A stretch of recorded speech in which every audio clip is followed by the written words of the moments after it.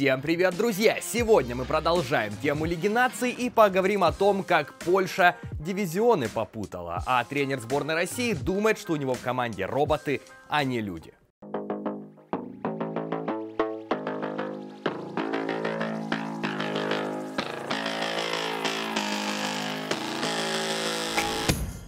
Итак, как мы помним, главный смысл Лиги наций заключается в том, что ты играешь с себе подобными. И после чемпионата мира у многих возникал вполне логичный вопрос, а что в дивизионе А делает сборная Польши.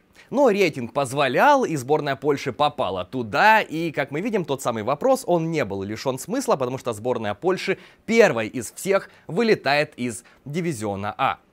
Когда ты уступаешь дома по ударам в три раза, когда ты, играя дома, имеешь владение аж 30%, тебе просто не по пути с этими топ-сборными. Сборная Польши подумала, возможно, на какую-то секунду однажды, что она ворвалась внезапно в европейскую элиту футбола, потому что побывали на нескольких крупных турнирах, у нас есть Левандовский, топ-форвард, есть парочка из Наполи хороших футболистов, есть вратари, которые играют в топ-чемпионатах, но футбольной элитой так быстро не становятся. А потом мы смотрим на возраст главных футболистов этой сборной Польши и видим, что Левандовский уже 30, что Блащиковский уже 32, что Гросицкий уже 30, что Глику уже 30. И эта команда обязана совсем скоро пройти процесс омоложения. И она уже его начинает. Там есть неплохие молодые футболисты, но они пока не готовы, конечно же, к борьбе в дивизионе А а их туда бросили, и им там, конечно же, пришел полный конец. Хотя не все так печально, у сборной Польши и есть новое поколение, но его надо, конечно же, обстреливать. Есть Пентек, который в Джену творит такие сумасшедшие вещи, который сейчас лучший бомбардир Европы, никто не упирается. Там они рядышком, конечно же, всякие разные. Месси, Андре Силвы, остальные бомбардиры Европы. Но Пентек лучший. Его уже хочет и Боруссия, и Челси, и Барселона та же самая, потому что э, вроде бы как пошла инфа о том, что Барселона хочет купить себе Пентека вместо стареющего Суареса. Это будет, конечно же, глупо, я считаю, что это какой-то вброс. Барса может интересоваться, но прикиньте сейчас, Месси, Каутиньо, вся прекрасная полузащита, Ракитич, Артур, Бускетс и Пёнтек. Великолепно просто, команда мечты. А, но это будущее а конкретно данный состав сборной Польши э, не закрепился на топ-уровне за всю историю своей игры. Побывали на турнирах, попытались там что-то сделать, ничего толком не получилось, и вот уже им всем за 30. А вот сборная Италии омолаживается быстрее. И эта сборная Италии сыграла против сборной Польши примерно в то же самое, во что она и играла в недавнем товарнике против сборной Украины. Единственное отличие заключалось в том, что Манчини менял постоянно игроков в нападении, менял позиции. Потому что если против сборной Украины Инсини играл в центре и искал там себе место, то в этом матче он был и слева, и в центре, и справа. Э, Бернардески никак не мог понять, где ему играть, на каком месте. Но это в том смысле, смысле, что он постоянно путал а, защитников сборной Польши. Кьеза в первом тайме играл справа, во втором тайме слева. Вот постоянный хаос в атаке, и это, конечно же, действовало а, на э, оборону сборной Польши. И итальянцы нашли моменты для ударов, ударили много, там почти 20 раз, но забили только на 90 плюс, там, слава богу, с, после углового. Вышел даже, как его, лазанья. И Лазанья отдал голевую передачу, потому что Бернардески уже немножечко подвыдохся во втором тайме. И мне никогда не нравился Манчини как главный тренер. Его идеи мне не совсем понятны, потому что то, что было в Манчестер Сити, извините, там у каждого тренера было примерно одно и то же. Потому что играть по-другому футболисты Манчестер Сити не могут, не умеют, и они бы протестовали сразу же, если бы кто-то заставил Давида Силву играть не в созидание. Если бы кто-то заставил Яя Туре э, делать не то, что он делал раньше. Там кого не поставь, что Манчини, что э, Пелигрини, что даже пришел Гвардиола и усовершенствовал все это, там все играли примерно одинаково. И, а сам Манчини, где бы он потом не работал, в каких бы командах не работал, его же команды не играли как Манчестер Сити. Значит, его тренерские идеи не настолько хороши, как многие думают. И мне они не нравятся. Но эта сборная Италии играет здорово. И омолодившаяся сборная Италии, у которой нету там опыта какого-то, Кьеза вышел молодой. Барелла в центре поля. Офигенный просто, ну слишком молодой. Инсинье, например, еще никогда не тащил за собой команду. Он не был лидером, а здесь надо бы. Особенно в атаке. Потому что В Наполе был Хамшик, он всегда тащил на себе, и были еще несколько лидеров, всегда был какой-то Игуаин впереди, который э, бросал на тебя тень, как в формальном, так и в физическом смысле. А, а здесь ему надо тащить, потому что рядом с ним Бернардески, пусть уже и, так скажем, на понтах, потому что он играет в Ювентусе, он знает, что он что-то может, что он, что он чего-то стоит в этой жизни, но рядом с ними Кьеза, и им нужно всем добавить в уверенности, потому что играют они здорово. Все молодые итальянцы играют здорово. И как только эта уверенность перерастет а, в уверенность в результате, потому что они играют-то неплохо, но уверенности у них нет в результате, вот тут придут и уверенные победы. Ну а так пока 1-0, Поляков еле-еле дожали, но по игре вообще вопросов нет. У этой сборной Италии есть точно потенциал. И я не скажу, что этот состав сборной Италии, молодой состав сборной Италии, не имеет шансов достичь успехов предыдущего поколения.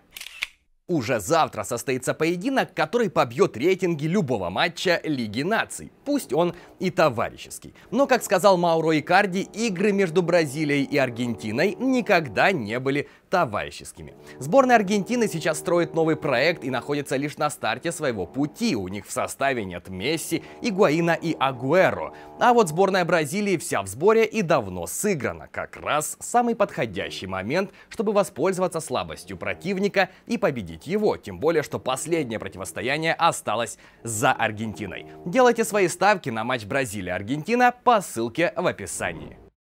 Следующий поединок Лиги наций Россия-Турция. И вот это был матч, где сборная России была лучше, явно лучше, и контролировала ситуацию, ну, практически весь матч, за редким-редким исключением. И вот, наконец-то, вот здесь я думал, что можно будет посмотреть на сборную России с мячом, которая ведет игру, у которой больше процент владения, которая играет в позиционную атаку, но... Но, как мне показалось, во-первых, поле было не предназначено для этого – потому что мяч дробил постоянно.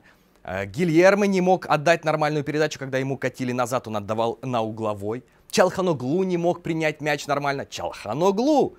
Понимаете, здесь явно причина была не в его технике, не в мячах, а исключительно а, в поле. И благодаря этим кочкам мы увидели матч, который был наполнен множеством физухи и борьбы, а во втором тайме, когда команды устали, начали появляться пространства для контратак. Это и все, что было в данном матче, а жаль, потому что сборная Турции была мертвая. Она, она очень плохо а, выглядит сейчас. Есть несколько звезд в атаке, но все остальные ребята, кто это?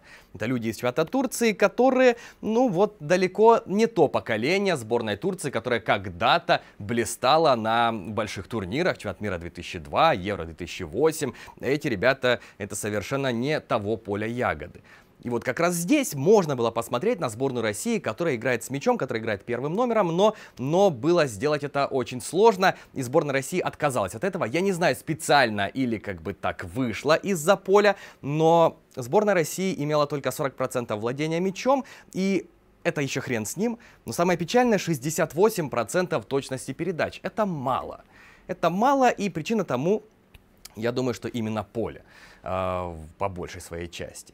У сборной Турции им было настолько тяжело играть низом, что они выполнили больше 100 длинных передач за матч. Это вопиющий случай, потому что э, в играх, ну не то чтобы топ-команд, но очень качественных команд, 100 лонгболов это нонсенс. Даже в матчах Лиги 1 английской, там третьего дивизиона, четвертого дивизиона, иногда команды не делают по 100 длинных передач за матч, потому что зачем. Уже даже там умеют играть низом. Но здесь э, не получалось ни у тех, ни у других сыграть низом. И такая игра изматывает сборную России очень сильно. Потому что Дзюба, например, вынужден постоянно идти на все забросы, бороться, сбрасывать мяч, потом сыграть в стенку, потом побежать в штрафную площадку. Зачастую клубы, которые и сборные, которые обладают такими нападающими, они их используют только внутри чужой штрафной площадки. Мы туда доведем до тебя мяч, навесим, и ты попытаешься там либо сбросить, либо забить, чтобы он не тратил силы зря, не отходил в центр поля, не боролся там, не получал, конечно же, и по ногам, и по ребрам, потому что по-другому нельзя играть против Дзюбы, и это его очень сильно изматывает. Во втором тайме Дзюба уже не мог ни ускоряться, ничего он совершенно делать не мог. Э, что касается Головина и Зобнина, они покрывают при такой игре когда сборной России нужно постоянно, ну, так скажем, большую часть матча обороняться, играть в прессинге, потому что владение это проигрывается, они покрывают огромное количество пространства еще в обороне, потому что бегают постоянно поперек, перекрывают зоны, а потом еще быстро несутся в контратаки, потому что такая задача на матч. Отоборонялись и побежали, отоборонялись и побежали. И их это тоже изматывает, по-другому это не работает. И вот тут я ловлю себя на мысли, что прописная истина футбола заключается в том, что пока мяч у нас, нам, во-первых, не забьют, и нам будет легче играть. Потому что когда ты бегаешь за мячом, всегда это тяжелее, чем когда ты мячом владеешь. Пусть даже на своей половине поля, в центре поля, но твои футболисты в это время отдыхают по большей части. Все соперники Барселоны, они просто умирали клинической смертью на поле, пока Хави, Иньеста, Бускас, пока они вот там вот это все разыграют, разыграют, потом дадут пас на Месси, и он выбежит, забьет уже с выхода один в один. Они катали их, катали, катали, накатывали огромный процент владения мячом, и соперник просто физически уставал и не мог уже следить за мячом. А сейчас у сборной России как раз-таки такое положение в большей части матчей, по крайней мере из того, что я видел, что она проигрывает владение и очень много тратит сил на вот этот самый прессинг и на слежение за мячом, когда тот у соперника. А потом еще и несется в контратаку, а потом назад. Потом опять проигрываем владение, ждем, ждем, ждем, забрали, побежали в контратаку. В начале сезона такую тактику использовать можно, потому что многие футболисты еще не устали, еще они готовы, они прошли там предсезонку, кто-то просто отдыхал после чемпионата мира. У них есть запас сил какой-то, хотя по Дзюбе было видно во втором тайме, что все. И по Головину, кстати, тоже во втором тайме было видно, что, наверное, все. И вышел Черышев, добавил свежести, забил гол, красавец. Вот это было как раз таки вовремя. Вот эта замена была лучшей заменой в этом матче. Она произведена вовремя, она дала результат. Но если такую тактику Черчесов продолжит использовать постоянно, и, например, в весенних матчах, где у многих футболистов там, решающая стадия чемпионата, за плечами уже сколько там, месяцев 6-7 сезона, кто-то еще даже играет в Еврокубках, и ты заставляешь их играть в прессинг, проигрывать владение и играть в обороне, потом забирать мяч, тратить на это много сил, потом бежать в контратаку, то некоторые из футболистов начнут не дорабатывать. Это нормально, потому что футболисты это люди, а не роботы. И когда ты весной заставишь их играть вот в это же самое, многие устанут.